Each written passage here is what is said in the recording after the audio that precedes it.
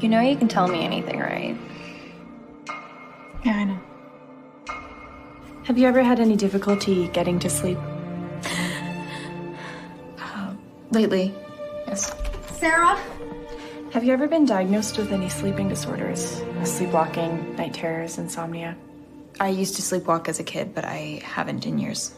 What are you studying? I can't tell you that. It's a nightmare. Are we ready?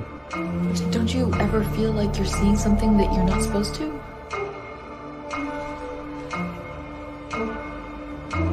Is this your first sleeping clinic? Do you feel well rested? For some reason, we always figure out a way to simply discount them as